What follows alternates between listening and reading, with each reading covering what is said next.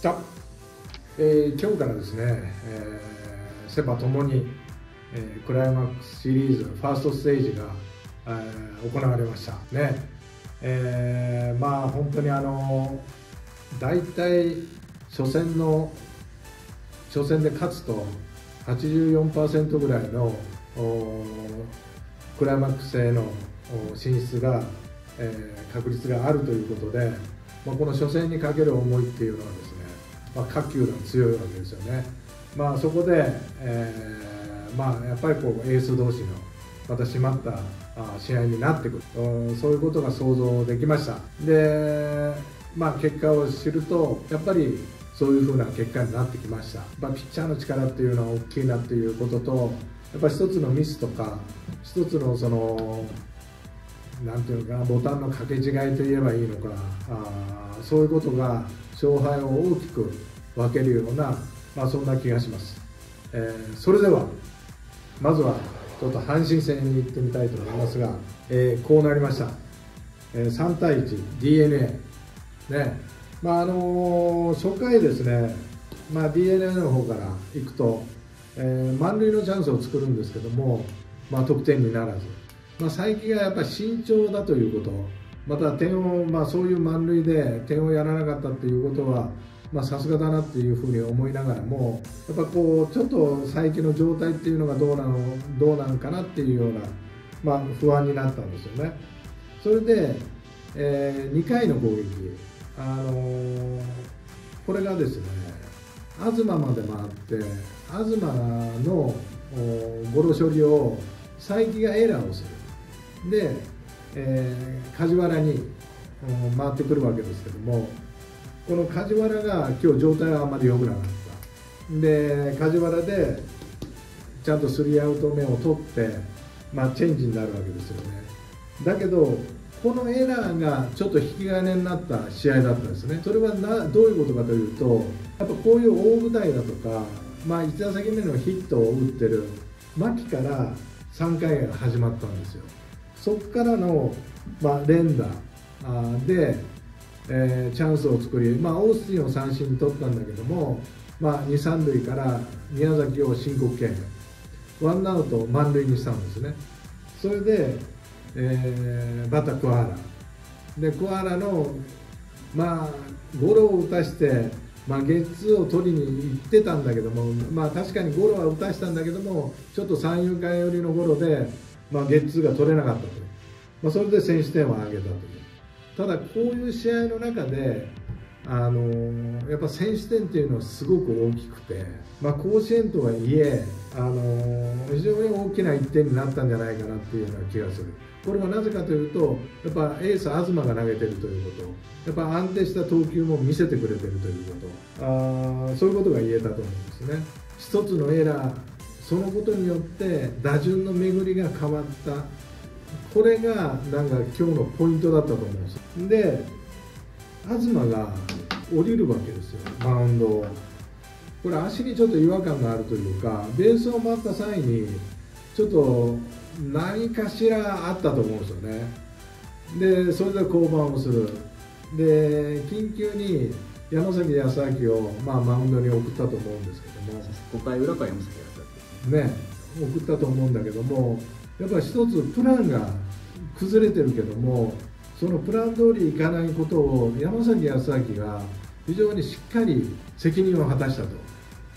だから東があの4回に降りることによって4回で降りることによってやっぱ小刻みな系統を余儀なくされた。その一番手として山崎康明が上がったんだけどもこれが見事にしっかり抑えてくれたということ。これでやっぱ一つの野球のリズムというアクシデントからリズムが崩れる。崩れたリズムを山崎康明がしっかり戻したというようなね、まあ、そういうことになります。で、えー、7回牧佐野の連続ヒット。ね。えー、でここで、まあ、桐敷がマウンドに上がってたんだけども大水のところでまあ、石に変えると。でインサイドに狙ったボールがやっぱりこうオースティンの一番好きな手が伸びる外の高めにいっちゃったんですね、まあ、これはもう確実に嫉妬だというふうに言わざるを得ないんだけどもやっぱここら辺が桐敷と石井っていうのはシーズン中ずっと投げ続けてきたピッチャー。それでやっぱこう不安に思ってたのが肩が軽すぎやせんかなっていうことがなんか使ってみて改めてそれが証明できたというか。だからずっと使ってきたピッチャーっていうのはやっぱシーズン通してもこういうクライマックスでもなんかこうその流れでこう入りたかったんだけどもちょっと間があってゲーム感がなくなったことによっての俺は嫉妬だと思うよね。だからこうやって試合が続いていくクライマックスに行くそうなってくるとやっぱ調子を上げていくんだろうけどもやっぱこの初戦っていうのはこういう失敗に結びついたのはやっぱり、ね、そういうことが言えるのかなっていうような、まあ、そんな感じがします、はい、それで2点タイムというねこうまあ致命的というかで全体的に阪神打線っていうのは触れてない、えーまあ、触れてないのかその東という対策から今4回にその対策が終わり、まあ、5回からは、まあ、中継ぎで1イニングずつつないでいくんだけども、まあ、そういうことの目先を変えられたことによって捉え捉えることができなかったのかなっていうようなね、まあ、そんな感じがしました。森下選手が4打数2安打で、まあ、一番当たってるって感じです、まあ、そうだね、だから森下はもう1打席目にヒットが出てね、まあ、一つほっとする部分もあっただろうし、まあ、なかなかこうヒットこういう試合でもヒットが1本出るまでねやっぱ不安なものでだから早めに出た人っていうのは2本とか、まあ、そういうのは打つんだろうけど。やっぱ大山と里輝、まあ、大山は最後に、まあ、ヒット1本打ってるけどもね、まあ、里輝がちょっと状態あんまり良くないのとまあ、木浪が最後ね1点をこう取ってくれたけどもこの1点が明日につながればいいなっていうふうにちょっと考えるね、まあ、あ森原からあ抑えの森原からまあ1点を取ったっていうのが、まあ、救いかなっていうふうには感じます。で、まあ、佐々木坂本伊勢森原。まあ、よく d n a の方は東のアクシデントがあってもやっぱ中継ぎ陣がきっちりね1イニングをしっかり責任を果たしながらあの9回森原までね、まあ、つないだということ。で、まあ、佐伯も、まあ、状態的にはねそんなにいいとは思わなかったけどもまあしのぎしのぎ。で、まあ、チャンスの時に代打を出されてね。でそこからのつなぎになるんだけども、まあ、シーズン中もう大車輪の活躍をしてた桐敷石っていうので捕まったっていうのは、まあ、少しはショックは残るかもわからないけども連投が効くピッチャーだけに連投させた方がいいピッチャーだけに、まあ、そんなに悲観することはない。明日の明日の登板に関して言えばね。桐敷投手に関してはこの試合イニングまたぎして1イニングと,、えーと、点を取られると早投げてますけど。まあそうだね。だからまあまあこういうなんていうのかな。やっぱりゲーム感って、まあ、よく言われるけどもまあそのなんていうんだろうな。まあ、こういうことにこういう使われたことによってゲーム感も戻ってるだろうし。だから明日はね多分心配ないと思う、うん、d n a でいうと牧選手佐野選手がそれぞれ猛打賞と、まあそうだね、非常に2番3番が好調であります。まあ梶原がね全く塁に出ることができなかったんだけどもだからその穴をやっぱ牧が埋める佐野がつなぐ、まあ、ここら辺はあの、やっぱモチベーション高いかなというねつないだ後にはオースティンと宮崎が待ってるんでどうしても相手のピッチャーっていうのは警戒するよね。そしたらランナーが溜まってくるというまあ6番が大切桑原が大切なんだけれどもまあだけどああやってね最低の仕事でもしっかりして点を取ってくれるっていうねやっぱ打線的には心強いよね。まあ、ちょっと下位打線には少しの弱さは感じてもやっぱ上位打線からもう非常に破壊力を感じるし、あのまあ、今日は阪神の投手陣から、まあ、3点を取った、まあ、久しぶり久しぶりのゲーム。やっぱこう阪神のこの万全の投手陣から3点を取れたっていうのはすごく自信にはなるだろうね。今日の一戦ただ阪神側から言うとやっぱゲーム感というものに関して言えばピッチャーがあのいつも登板してるピッチャーが、まあ、久しぶりだったんで、まあ、ゲーム感がなかったっていうことは言えるかもわからないけど、まあえー、今日の d n a の MVP は、まあ、オースティンかなっていうふうには思うよね。まあ、やっぱりこう嫉妬をね逃さなかった。でその前のチャンスもね、まあ、三振に終わっててすごく責任も感じてたと思うんだけども、まあ、だけどこの一番大事なところでねやっぱ終盤に入終盤に入ったところでなんていうのまあ阪神が誇る中継ぎ陣から点を取ったっていうのは大きな2点になったなっていうね、まあ、そんな感じがします。DNA 初戦取ったということでファイナル進出への可能性がぐっと高まったわけですけど。うん、まあ、そうだね。ただやっぱりこうただ阪神も実力があるし打線がつながり出せばね跳ね返す力を持ってると思うしね、えー、まあ、甲子園、まあ、独特な雰囲気がある、まあ、負ければ明日最後っていうことで、まあ、非常に開き直ってもくるだで岡田監督が、まあ、最後の采配になるかもわからないし、まあ、連覇っていうのは日本一っていうことも含めて言えばね、まあ、そこは目指したいと思ってるだろうしそれは簡単にはいかないし、まあ、明日は高橋あると d n a に今年1回も投げてない。だから明日はなんかね阪神が勝ちそうな気はします。やっぱ高橋遥人ってまあ、どんな大きな舞台でもあんまり変わることのないピッチャーだしあのひょうひょうと投げる姿が頭の中にあるんだよねただしあの d n a のジャクソンもう後半になってきて状態もいいし調子は上がってる球のスピードも上がってる。だからまあ僅差のゲームに明日も明日もなるだろうけども、まあ、やっぱ先手を取った方が勝ちかなっていうような気がするね。一つで言うとあの東投手ちょっと怪我の具合が分からない。そうだな。このファイナルなり日本シリーズ行った時は。ちょっと心配だけどね。まあ大事にならないことを祈るけど。まああの実際の話今日の阪神 d n a はね、まあ、そんな詳しくは見てない、ね、申し訳ないけど。まあ後であのこういろんなものを探りながら今お話ししましたけどもまあね、えー、d n a まあ、戦勝ということで、まあ、セ・リーグは、まあ、そういう形でした。続いて、えー、パ・リーグ。ねこうなりました。で大方の予想がね小島だったんだよね。日本あのロッテの先発が。で日本ハムの方は加藤。まあ、そのまま順当に来た。小島じゃなくてやっぱ佐々木朗希が来るんだっていうようなことで、えー、まあ、ちょっと勝負に出たかなというロッテ。佐々木朗希がもし今日負けることがあるともう日本ハムがもうすすんなりいくかなっていうような予想がついたんだけども、まあ、ロッテはね、えー、7回クライマックスシリーズに進出してて6回勝ち抜けをしてるんだよねファーストステージ。だからやっぱそのやり方というか選手たちの経験値、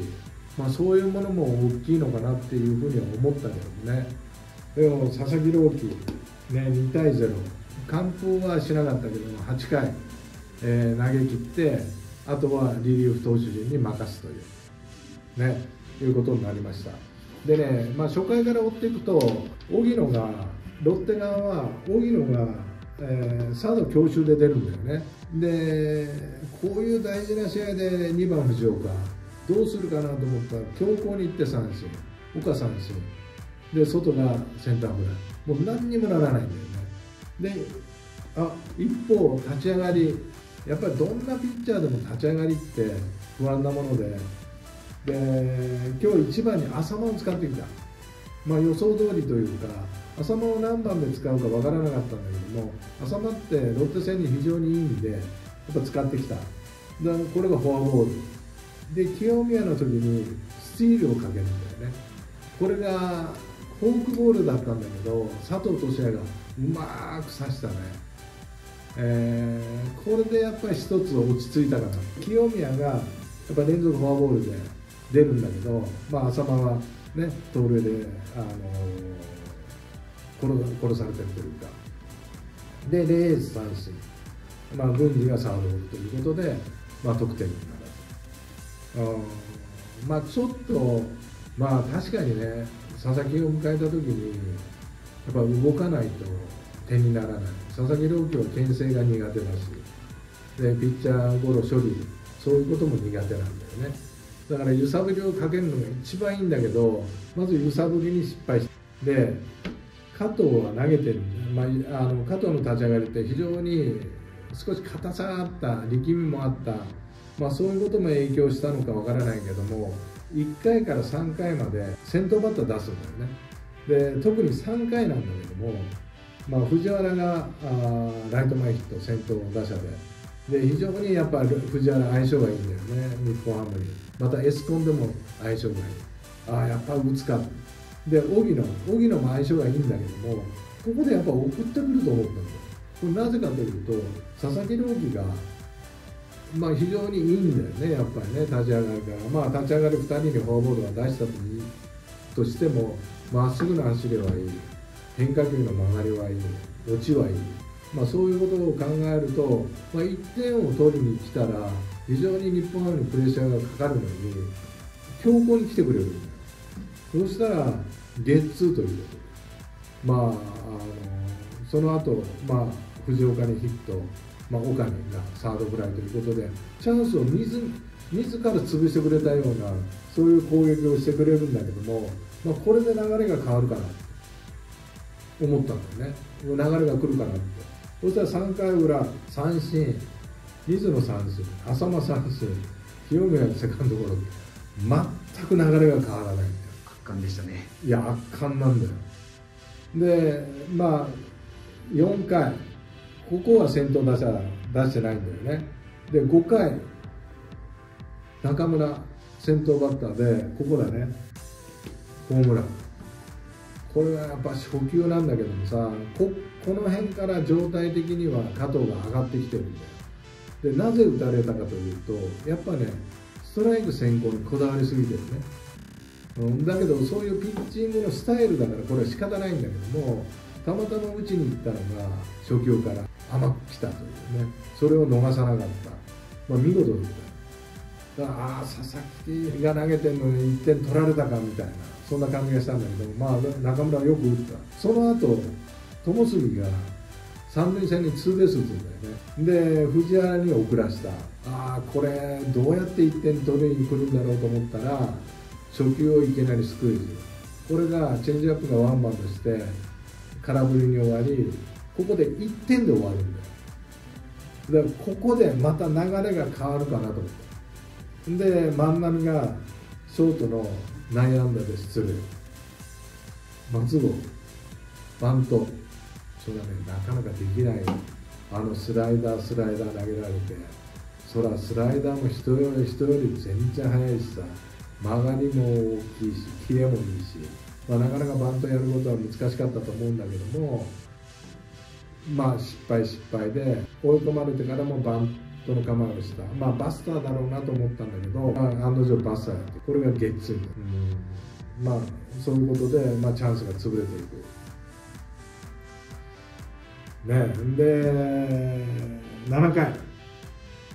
ね7回にまた1点を取られる。また先頭バッターポランコ。まあ、スライダー甘くなったところをセンターバックスクリーン右へ、えー、まあ、最新部と言ってもいいかな、まあ、放り込まれたということで、まあ、2点を取られた。やっぱね2点取られると今日の佐々木の出来からするとあちょっと厳しいかなっていうのがもうやっぱ球場全体になんかこうそういう空気を作り出したホームランなんだね、うん、だけど反撃を見せるんだよ。7回。レースに、えー、2本目のヒットが生まれる。レース自身にね、えー、スライダーをレフト前に打った。